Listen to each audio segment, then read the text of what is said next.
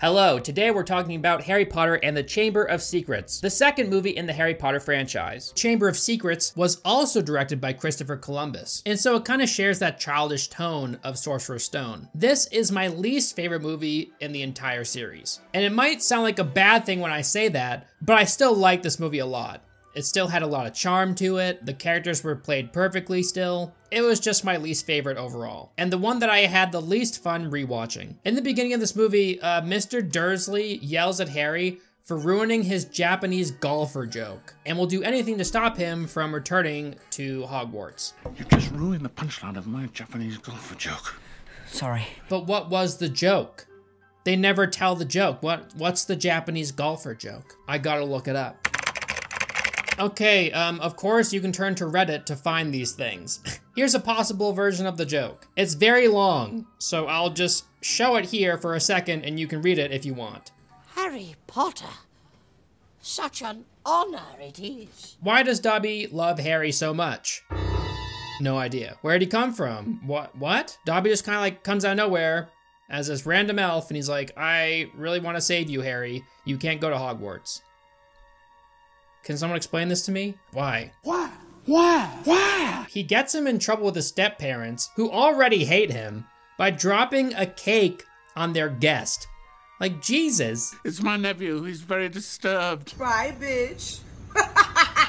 So Ron comes out of nowhere with this car and saves Harry. So I put a note here that just says, Ginny looks at Harry like she just saw his dick.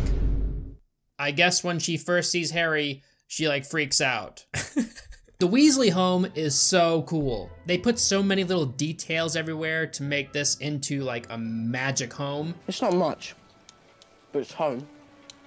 I think it's brilliant. Mr. Weasley asks Harry, what is the function of a rubber duck? And Harry never has a chance to answer him, so I will do the honors to keep babies and young children occupied and happy during a bath. That is the function of a rubber duck.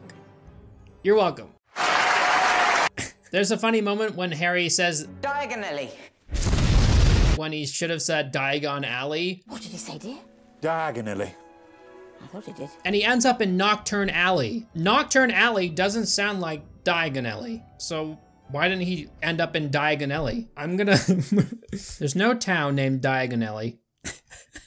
Personally, I would have liked it a lot more if the Floo powder kind of backfired and sent Harry into limbo, and he was just stuck there, and it ruined the entire rest of the series. So yeah, Hagrid is wandering around Knockturn Alley, and he runs into Harry. Very convenient. So then there's a scene on platform 9 and 3 quarters. Everybody goes through, but then Dobby hardens the wall so Ron and Harry can't get through. So I guess F's in the chat for any wizard that tried to board the train after Ron and Harry.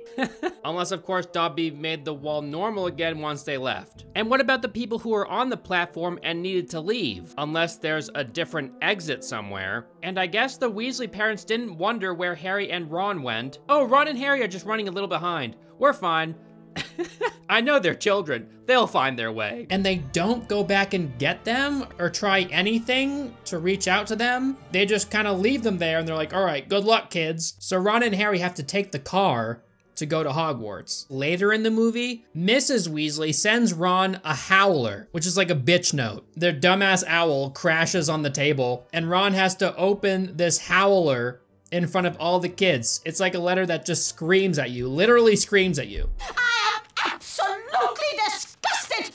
Okay, bitch, damn, like, you're not gonna go back for your kid, but you'll send them a letter that will embarrass them in front of everybody? Cool. I like how they show muggles seeing Harry and Ron fly away in the car. It adds a little bit of realism, because obviously some people would see this stuff happen. Sometimes, at least. Especially when kids are involved, who are using magic just randomly. And Ron and Harry get punished for this later. Snape yells at them. So there's a part where Harry and Ron kind of fuck up. They're flying the car on the train track, like not above it, on it. And the train is behind them, so they have to like fly out of the way. Then there's a moment when Harry is hanging out of the car and Ron has to pull him back in. This is insane to me. This kid almost died, and Ron didn't think to turn the steering wheel slowly so the car would turn like this, and then Harry could just fall into the car. Instead, he reaches out with one hand and is able to pull him up somehow.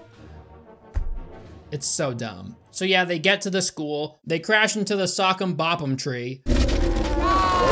And yeah, I guess the parents just forgot about their kids at the train station.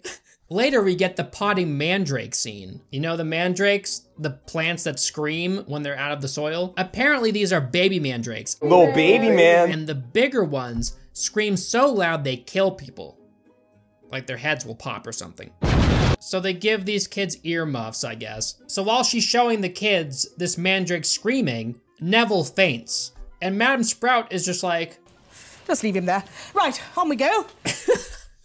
Like, damn, do these teachers not care about the students at all? This movie introduces us to Gilderoy Lockhart. Kenneth Branagh played this role perfectly. Oh my god, did I hate Gilderoy Lockhart. This guy is such a douche. He was definitely the most hateable character in the entire series, of course until Professor Umbridge. He decides to unleash pixies onto the class for his first lesson as a defense against the dark arts teacher. Everywhere that Gilderoy uh, intercedes or intervenes and causes some version of mayhem. I guess you don't have to pass a background check to become a teacher in the wizarding world. like, why did Dumbledore hire this guy? He fooled Dumbledore? Dumbledore didn't know that this guy was a sham? What? You would assume that Dumbledore wouldn't be oblivious to this guy's lack of ability. So yeah, this absolute moron unleashes these pixies onto his class, and he has no idea how to deal with them. He just kind of runs and hides once he does this, and they terrorize the classroom. I'm not sure how he kept his job after this. Why is this guy so sure of himself when he's casting these spells throughout the movie, and he's constantly fucking up? He's failing over and over, but then later in the movie, when faced with real danger because of the Chamber of Secrets, he decides to try and flee the school. Wouldn't it be more in character for him to try and rush towards the danger because he's so confident that he can do these things? Almost as if he's starting to believe the lie that he created for himself that he's this big hotshot. I don't know, maybe self-preservation overpowered that at the end. So then Ron casts the Eat Slugs spell on Draco because he called Hermione a mudblood. And it backfires on him and it's so gross. He's puking slugs and it's genuinely disgusting. I need to first start off by asking you about the slug scene. Was that just miserable or how did you ha- how, how did that work? Oh, I love that scene. It was really fun. But it tasted quite nice, actually. Later in the movie, Ron fails to turn a rat into a cup in McGonagall's class. I think this scene would have been a lot better if the spell backfired and he turned himself into a cup, the Ron cup. This is what he would look like. Is there no ref or safety team during a Quidditch match? Because apparently not. During the Quidditch match, there's a rogue bludger chasing Harry, which could have easily killed him. But I guess there's no ref or safety team to help, which is weird because this is the most dangerous sport in existence. If any sport requires a ref and a safety team, it's Quidditch. And guess who cursed the bludger to chase and injure Harry?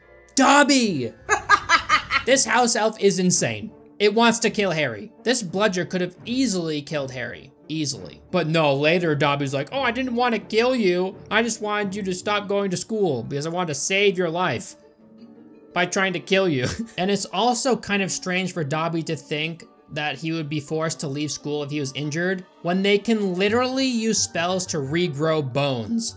They do it in this movie. Gilderoy Lockhart tries to cast a spell to heal Harry's broken bone, and instead the spell just removes Harry's arm bones altogether. So he just has this floppy goopy arm. Ah. And the nurse of the school can just regrow people's bones. So yeah, there's no way that Dobby could injure Harry enough to send him home, if the nurse can do this. Just saying. Like, Dobby is dumb. So then we get the duel scene. Gilderoy Lockhart's like, oh, I'm a big hotshot. And he gets fucked up by Snape. time to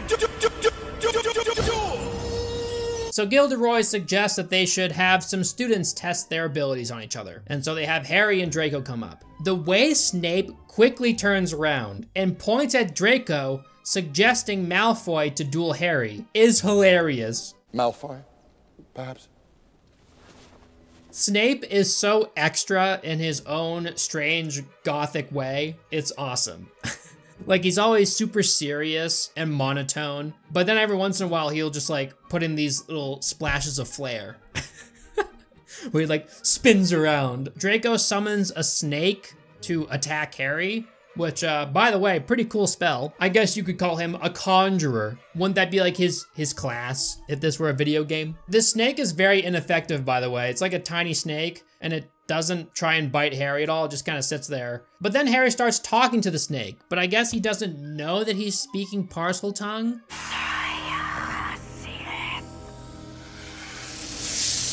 He can hear what he's saying, right? Then he knows that he's speaking Parseltongue. But for some reason, this weird snake language can't be deciphered by the person saying it. You know, they just can say it randomly. And the people around can hear what he's doing, but he thinks he's just talking normally, I guess.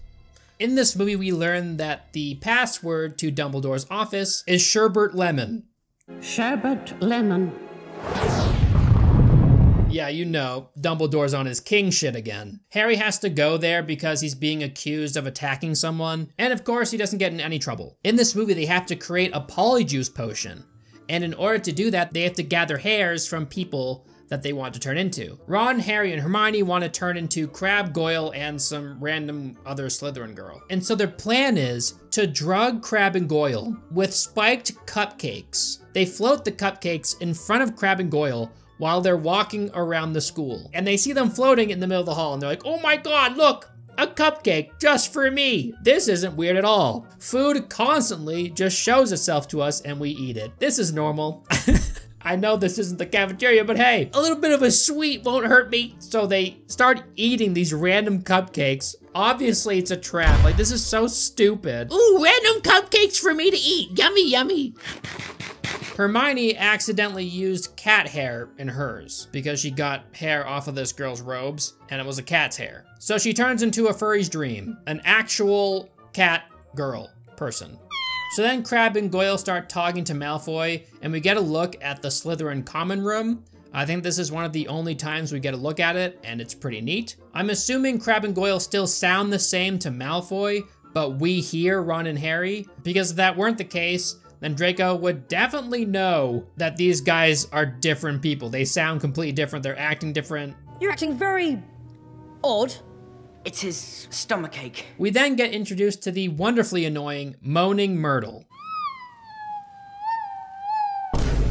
And Tom Riddle, the version of Voldemort that everybody wants to fuck on the internet. I'm not joking, it's weird. Hermione gets petrified in this movie. They had to create a fake version of her. And I gotta say, it's pretty convincing for a fake human. It's very uncanny valley though. They don't know who's petrifying people. But if I were Harry, I would suggest Dobby. Because Dobby's been trying to kill me since the beginning of the year, so seems like he would do literally anything to close the school to save Harry, even kill Harry. McGonagall even says that they might shut down the school because of all the kids that are being petrified. So I think Dobby would have had a much easier time shutting down the school if he just petrified a bunch of kids instead of trying to kill Harry.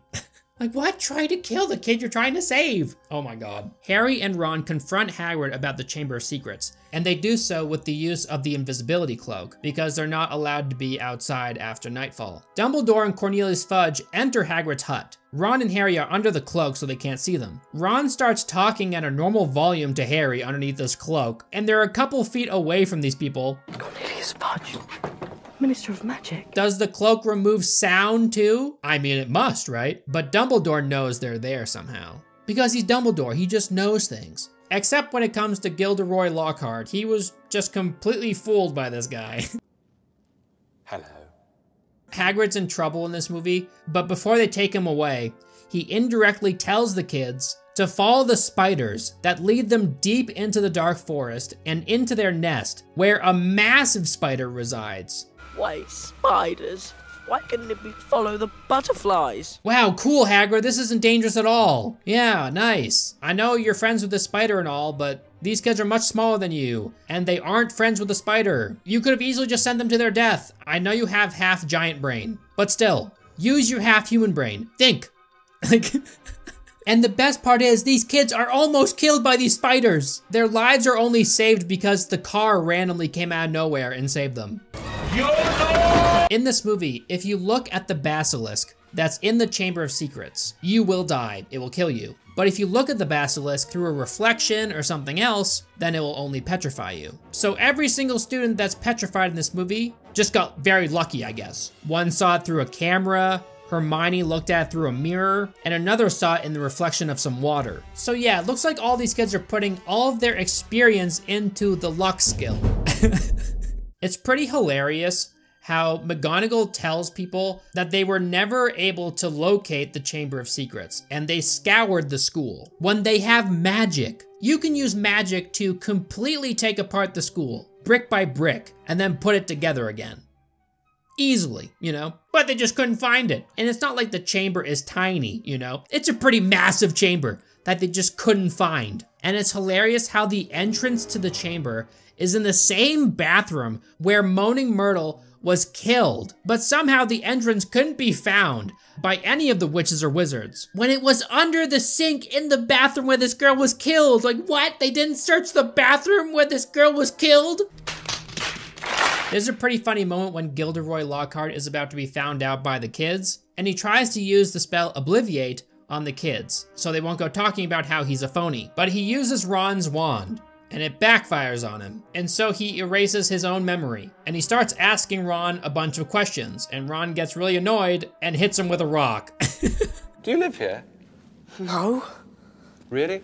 he just bonks him in the head with a rock and knocks him out. It's hilarious. It's funny how the Sorcerer's Stone revolves around a rock, like a magic rock, and the second movie revolves around a magic diary. If Christopher Columbus really loved to make Harry Potter movies based around a magic object, then he should have taken up the mantle for the last two movies, right? With all the Horcruxes? I mean, he loves magic things, objects. The Goblet of Fire too, right? And it's so cheesy how Tom Riddle's name rearranges to I am Voldemort. That's how he came up with his name, because it literally spells I am Voldemort.